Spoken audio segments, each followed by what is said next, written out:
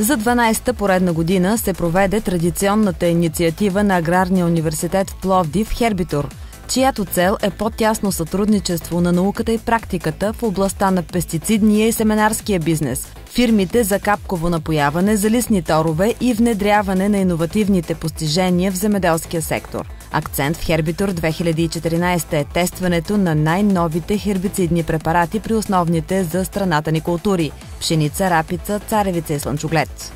16 фирми от различни направления, в това число фирми от пестицидния бизнес, от семенарския бизнес, фирми с капково напояване, с лисни торове, участват в Хербитур 2014. Това са утвърдени и доказани компании в областта на земеделието на България, които за радост се доверяват на нашия екип, на полетата на Аграрния университет да бъдат залагани такива опити, а ние полагаме максимални усилия да оправдаем тяхното доверие.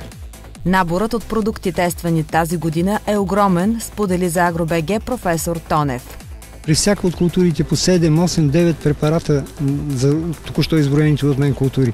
Тоест, е, касае се за едно огромно разнообразие от е, хербицидни препарати, от е, листни торове, които са като партниращи, фунгициди, които са партниращи в тези експерименти. При растителната защита не бива да се подценява влиянието на промените в климата, подчерта професор Тонев.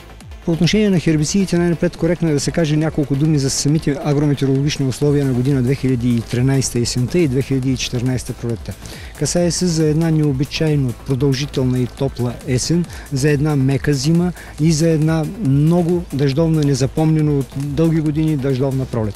Всичко това променя в много голяма степен концепцията за борбата с плевелите, болестите и вредителите, ако щете въобще за цялостната растителна защита и поставя под е, въпрос твърде много ефикасността на някои доказали се с годините препарати.